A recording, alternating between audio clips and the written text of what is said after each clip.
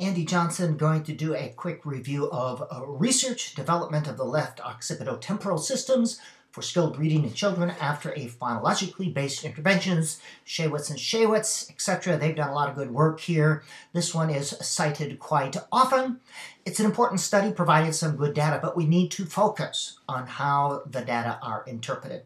Their findings was an evidence-based intervention using explicit and systematic instruction focusing on phonics, letter sound, and phonemic awareness led to increases in reading fluency and demonstrated increase in activation in left hemispheric regions.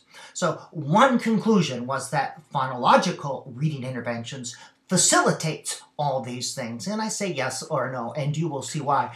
This is why it's important that we become critical consumers of educational research. We can conclude after the study, and I'll show you, that some sort of intensive systematic intervention is necessary for struggling readers, but it did not compare a phonological reading intervention to anything comparable. It does not show that a phonological reading intervention is superior to other approaches. And let me show you, important to look at the methods and materials. There were 77 students chosen for this study, ages 6.1 to 9.4 years of age. They were put into three groups, experimental interventions, 37 students, community intervention, 12 students, and I don't, don't know why there's the difference there, and a community control. So essentially we are comparing 37 students in the experimental intervention to 12 students in the community intervention. Now, this is what we know. These 12 students received a variety of interventions commonly provided within schools.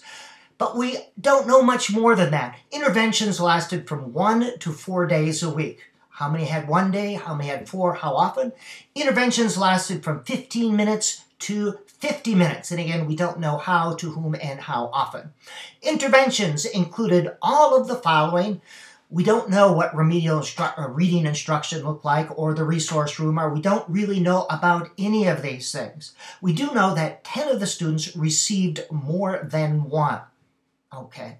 So we really don't know what type of intervention, if any, they received, how much, how often, etc. We can include, uh, related to community intervention, what they received was not like the experimental intervention, and there were 12 in the group.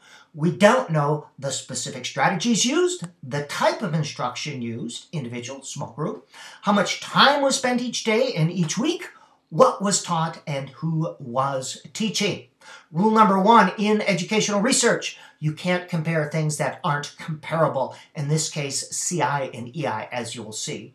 Experimental group had 37 students. We know this. They had instruction. It was 50 minutes every day, explicit and systematic. It focused on alphabetic principles, letter sound, and phonemic awareness. Daily instruction consisted of five parts. Students received eight months of intervention plus the regular classroom instruction Total intervention was 105 hours, and intervention was conducted by 12 certified teachers with specific training in that intervention. What we don't know is how come there were 37 in one group and 12 in the other? How were the two groups selected? Did EI meet the criteria for reading disability like the CI group did? But here are the results. And again, this tells us something, but we must be careful in how we interpret the data. Pre-intervention, they were all similar, except the CI was a little bit higher on comprehension. And in the post-intervention, uh, their scores for the experimental intervention were higher in all areas.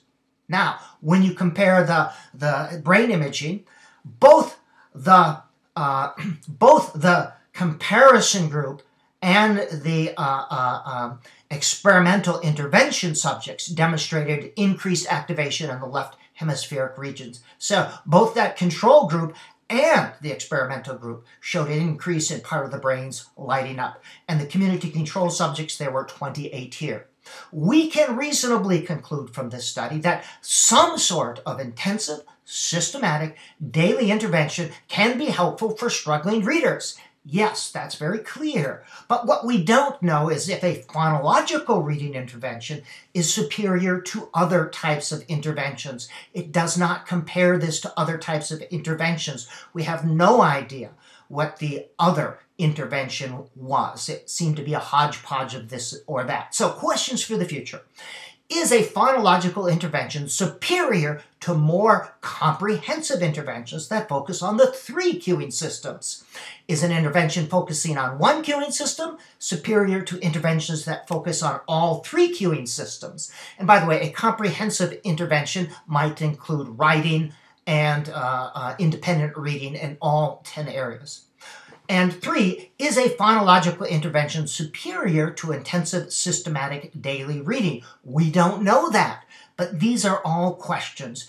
Good research, but you have to be careful in how the data are interpreted and applied. All we know from that one is some sort of systematic, daily, intensive intervention was helpful.